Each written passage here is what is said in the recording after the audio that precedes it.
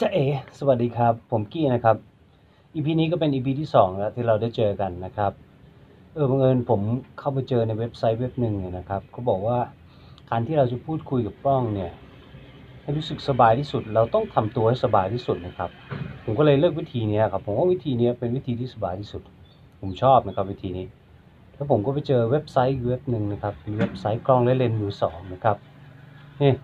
ผมไปได้ตัวนี้มา เลนอะไรก็ไม่รู้นะครับ อันนั้นเดอร์เลน35 มิล f 1.6 นะครับ ในราคา 400 บาทนะครับ ไม่รู้กากแค่ไหนนะครับ 400 เนี่ยตัวเนี้ย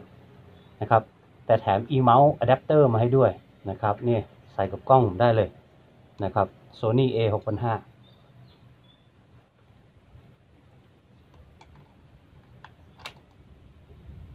ปึ๊บนี่ใส่ได้เลยประมาณนี้นะครับ ทีเนี้ยผมก็เลยอยากรู้ว่าไอเลนส์400 บาทเนี่ยมันกากหรือไม่กากเดี๋ยวเราจะออกไปถ่ายรูปกันนะครับแล้วเราก็จะมีเจ้า Product ตัวเนี้ยนี่นี่เนี่ยเป็นพระเอกของเราในวันนี้นะครับด้วยกล้อง Sony A15 นะครับ เดี๋ยวเราไปถ่ายรูปกัน ไปครับ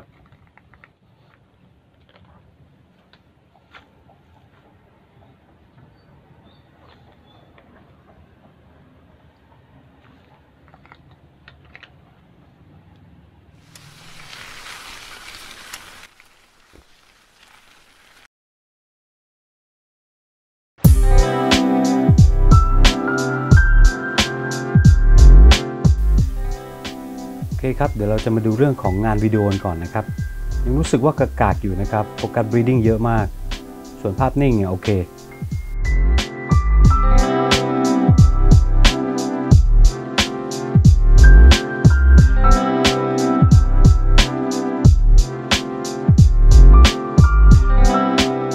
ที่ F4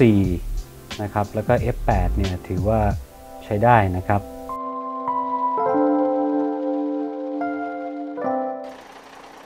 ขึ้นรถ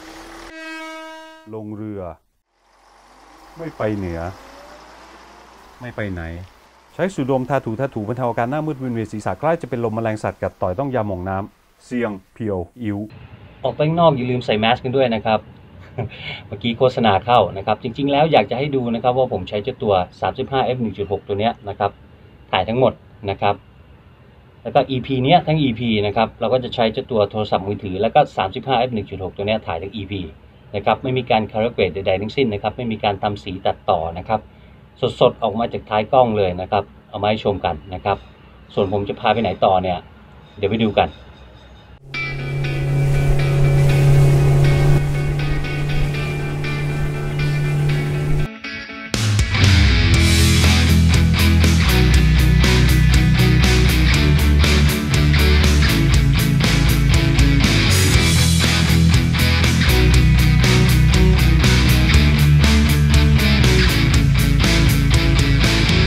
เรือครับ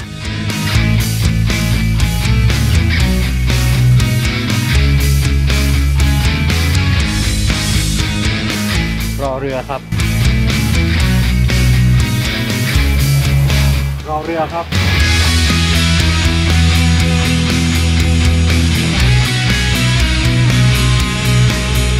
ว่าเจ้าตัว 35 f 1.6 เนี่ยก็ถือว่าไม่น่าเกลียดนะครับ ก็พอจะถ่ายงานได้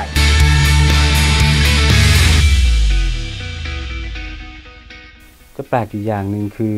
เวลาเปิด Infinite เนี่ยโฟกัสหลังไม่ติดนะครับโฟกัสหลังไม่เข้า ก็แปลกๆก็ไม่รู้ว่าเพราะอะไรเหมือนกันนะครับ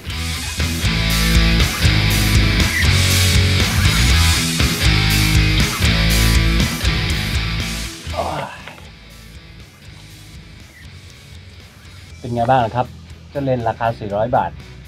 ถือว่าไม่ค่อยกากเท่าไหร่นะครับในราคา 400 เนี่ยขนาดเลนส์ 35มิล f 1.6 ก็ถือว่าโอเคในระดับหนึ่งนะครับ ใช้ถ่ายรูปลงสื่อโซเชียลทั้งหลาย Facebook Instagram Line อะไรได้นะครับพอได้ระดับหนึ่งนะครับ ก็ใช้ได้สำหรับมือใหม่ก็โอเคเลยนะครับ หรือจะเป็นคอนเทนต์มือใหม่หรือยูทูบเบอร์หรือ